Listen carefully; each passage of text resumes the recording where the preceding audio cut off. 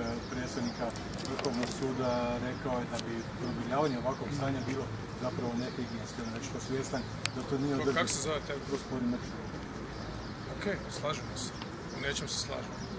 Molim vas komentar Mislim, na ja, to su preiskusni i stari ljudi u ovom smislu, dakle, biološkom smislu, sad smo već poma, pomalo ovoga, obuđavjeli da ne bi bili svjesni da to nije kako bi trebalo biti, ne. Ali nije za to kriv mrčava. Nije. Molim vas komentar na protokol oluje ovogodišnji. Dakle, neće sve biti na tvrđavi, nego na stadionu. Na tvrđavi inače nije sve. Na tvrđavi je ponešto. To se mijenjalo od godine do godine, od vlade do vlade. Recimo, mo- moja vlada je prva koja je gore pustila i otvorila to za branitelje. Prva. Nije mi jasno zašto to ranije nije rađeno, ne znam, ali moja je prva. Onda su bili oni nemiri, fučkanja, galame, ne, prošle godine smo vidjeli, dakle, bilo, bio je centar Knina ograđen, da se ljudima onemogući pristup, to nisam napravio ja. A sad šta, idemo na stadion? S obzirom da nije... A gledajte, ja ću sudjelovati u tome, naravno, mislim, ne zato što moram, drago mi je. Ali ne vidim smisao postrojavanja na stadionu, ja ću tamo onda dovesti vojsku, mislim, koji je smisao na ne, ne godišnjicu dovoditi vojsku?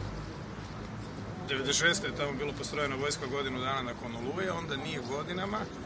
Ne znam, pretpostavljam da neki ljudi žele izbjeći neugodnu situaciju za sebe na dolje na trgu. Ali bilo bi dobro da malo učvrstu, to je dobro za ono, fitness, ne? Za cross fitness. Da te ljudi kad kad izvučkaju, to preživiš pa si jači, ako te ne. Ne znam koji su motivi da se ide tamo. Inače, dakle, razlozi za govorancije svake godine na dan pobjede su isto upitni. Ja sam i to probao, na to pro, pokušao ukazati. Jer godinama se na dan pobjede nisu držali govori. Dok je Sanader pri- premijer, na primjer. Mi bismo bili otišli na Kninsko groblje, na rubu grada, položili vijence na groblje, otišli gore na tvrđavu i to je to. I druženje sa ljudima. Onda su u jednom trenutku, ja još nisam bio premijer, počeli govori na centralnom trgu. Tako da, toga što se nije cijepila, život trebao biti nemoguć. Cijepio, cijepio sam se ja, vi pretpostavljam, dakle nama je ok. A da, mi ćemo se dalje razboljevati. Biće bolesti, biće i prehlada, biće svega. Dakle, šta je sljedeće? Da proganjamo ljude koji imaju karijes. Dakle, na kraju se sve svodi na to da opterećuješ sustav. Ali sustav je uvijek opterećen. Dakle, ako je netko spreman preuzeti rizik da se razboli i da se ozbiljnije razboli od korone, a neka preuzme. Ali sustav je takav da cijenu plaća gospodarstvo. Na Ne, koncu- cijenu plaćaju ljudi od kojih velika većina uplaćuje u sustav. Neki godinama. Oni koji se teže razbole godinama. To je na neki način i njihov novac. Po- Upozoravam, to je put u tiraniju. Ali sustav na Previše toga je zadnjeg, nema europskog sustava. Dakle, to je, to je nešto što je, god, dakle, već godinu dana mi gledamo jedan, jedan pristup javnoj politici pristup ograničavanja ljudskih sloboda. Danas sam o tome isto govorio. Ne prava, baš temeljnih sloboda. Bez kvalificirane većine u parlamentima. Neki dan je Španjolski ustavni sud uh, post facto nije neka korist, ali opet je mala zadovoljština, rekao da je sve ono što je rađeno u Španjolskoj zadnjih godinu i pol dana bilo protuustavno. Dakle, bez odgovara, s time što koliko ja znam, Španjolska je tu bila vrlo, vrlo skrupulozna, za razliku od nas i nekih drugih država. Dakle, ne možeš takve mjere, ne smiješ donositi takve mjere bez podrške i bez odobrenja najvišeg predstavničkog tijela. Pa makar na određene e, etape, pola godine, pola godine, pola godine, dakle ne neograničeno. To u Hrvatskoj nije rađeno i šta sad ćemo zabraniti? Ja ću izbaciti svoju tajnicu, na primjer, sa posla jer se nije cijepila. Pa neću. O, Ipak e, cijena... Dakle, ovo je jako ozbiljna stvar. Naravno. Mi tu ne možemo biti potpuno samostalni jer šta, onda će nam biti granice zatvorene. Postavili ste i pitanje ovaj, e, Sezone. turističke sezone. ja, ja kažem, dakle, to je jedna opasna glupost. 50% ljudi se nije cijepilo. Iz nekog razloga neće. Da se radi o 15% ljudi, to bi već bilo nebitno. Dakle, bili bismo na pragu te kolektivne otpornosti, kolektivnog imuniteta. Koji je smisao, dakle, ovako pritiska prema pola populacije? To po meni nije ni politički inteligentno. Vi ne mislite da ćemo za dva tjedna možda svirati Fajrund? Turistička, turistička sezona kad je Ne mogu vam to reći. Ja uopće ne želim podgrijavati takve, takve sentimente. Dakle, idemo. Ono, radimo se, ali sad da... Mislim, evo, pa tu više niko ne nosi masku. Ja ne očekujem da netko nosi masku, ja sam cijepljen. Većina ljudi koju znam su cijepljeni, ali pola ljudi nije cijepljeno. Činjenica da se pale alarmi u trenucima kad brojka prijeđe neku razinu. Pa ja vas pitam zašto se pale alarmi? Zašto Zato je se sustav pa- takav. Pa nije sustav takav, ljudi su takvi, ne postoji europski sustav, države se razlikuju. Dakle, zdravstvo nije centralizirano i neće ni biti što se mene tiče. Inače će to biti jedna država kao bivša Jugoslavija. To ne želim. Dakle, meni treba autonomija u Europskoj uniji i puno toga centralizirano. I neka bude, ali ne baš sve. Dakle, ovo je jedna vrsta straha od birača, što je dobro.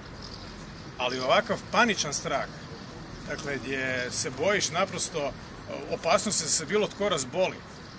Ja ne kažem da su namjere e, ljudi koji upravljaju najvećim državama diktatorske, nisu. Ali u jednom trenutku trebaš reći u redu, kao Britanci. Gotovo.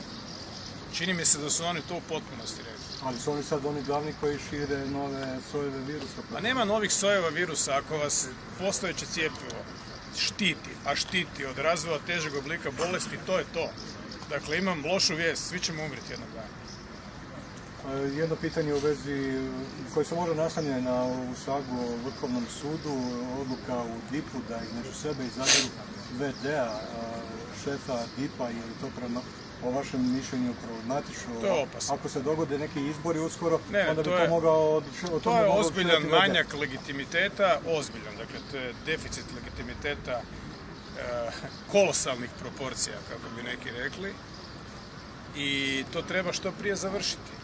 Ne po svaku cijenu. Dakle, imali smo obstrukciju jedne iznimne kandidatkinje, teško će biti naći tako nešto isto. Pokušat ću, daću od sebe. Dakle, ljudi nisu isti. Ona je zatučena, izvrijeđana, ponižavana i još jedno svakoj čast što je to izdržala.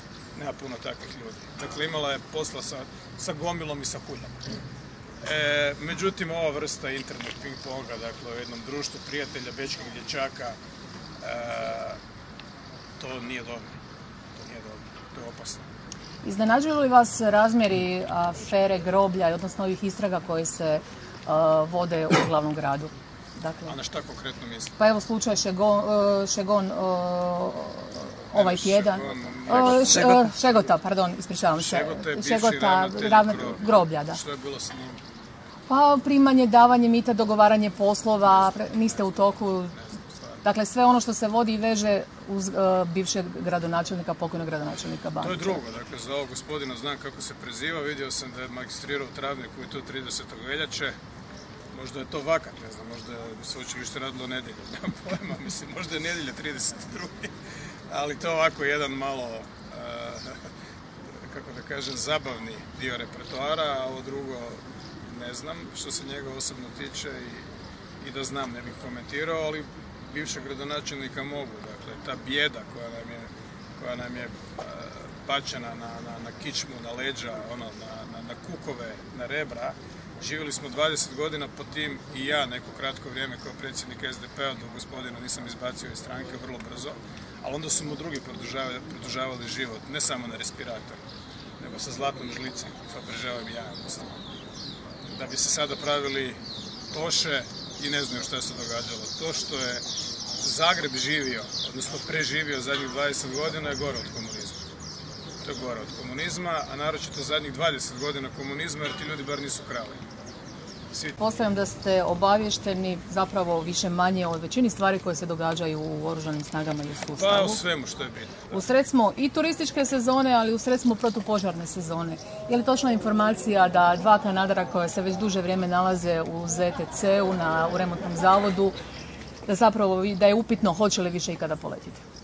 Uvijek je upitno hoće li poletiti, ali lete. Imamo šest kanadera, to je puno, to je dovoljno i stalno su neki na remontu, nemojmo zazivati, kako se to kaže, zazivati ili copati, ne zazivati. E, dakle, kraj, bliži se, ajde, sredina je srpnja, za sada nije bilo strahovitih požara. E, Nadajmo se dakle da će s te strane, e, sa strane onog što priroda može doprinijeti ili oduzeti, stvari nastaviti biti ovako. Dakle, situacija s Kanaderima je Ja ne pričam o klasičnom remontu, zna se kad idu na redoviti servis, kad su na remontu, ja pričam o tome da je upitno hoće li više poletjeti s obzirom da se dijelovi s njih skidaju kanibalizaciju. to se zove kanibalizacija. Da. Gledajte, kupit ćemo nešto drugo. Je to problem za Hrvatsku državu? Mislim, to je pitanje ono od nacionalnog interesa. Ne kupujemo 20 Boeinga 7 eh, Dreamlinera. Ne.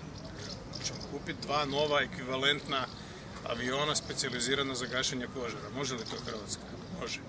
Ako može kupiti 12 uh, višenamjenskih lovaca, a može i treba, onda može kupiti još dva kanadera ili što se sad već kao zamjenu za to proizvodi.